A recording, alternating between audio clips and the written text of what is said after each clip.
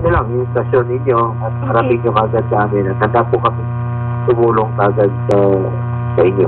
Maraming salamat po no, sa mga magagandang balita po na uh, ganyan Senator. Um, nakakataba po ng puso na ang mga mahihirap no, pwede pong lumapit no, at sa mga uh, nagawa nyo na ngayon sa Senado. Eh, Dagdag ko na lang po Senator kasi po di po ba dapat sana next week magbubukas na ang klase.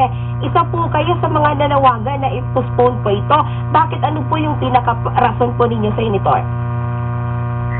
Sa totoo lang po, isa po ako sa nag-sumuporta ng patak po na pinasa namin giving authority to the President na i-postpone po no, yung, ah, yung pagbubukas ng ah, klase. Opo. So, dahil nakikita ko talaga marami pang takot.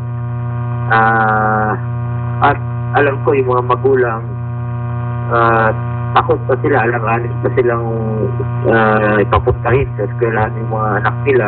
At sino ba namang magulang na gusto kong kasakit at nag-aalala sila habang nag-aaral yung mga anak nila. So, it's been my uh, my uh, stand no, na na no uh, vaccine, no face-to-face uh, classes hanggang abat habang wala pa tayong bakunang nakikita.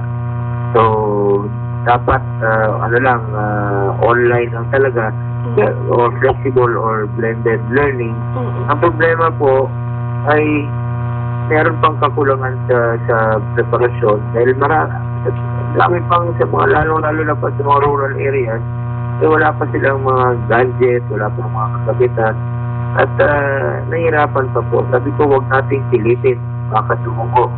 Ibig ko pong sabihin eh buhay po ng mga bata ang tinataya natin ay unahin po natin ang buhay ng bawat uh, Pilipino because uh, loss of uh, life is uh, lost forever na po yan. Hindi na po ma- maibabalik yan.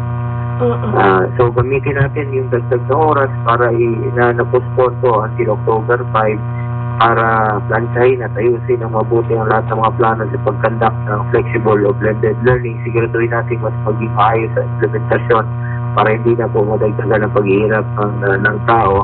At lahat ng estudyante ay dapat mabigyan ng pantay-pantay na oportunidad sa ilalim ng learning continuity plan in all levels of uh, education.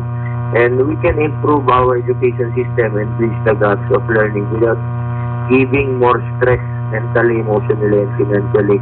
Marami pa po ang mga kababayan natin na wala ng trabaho, wala pa pong pagpili ng gamit sa eskwela para sa mga anak po nila at na nahirapan po po sa kanilang sitwasyon dahil karamihan po ay nawala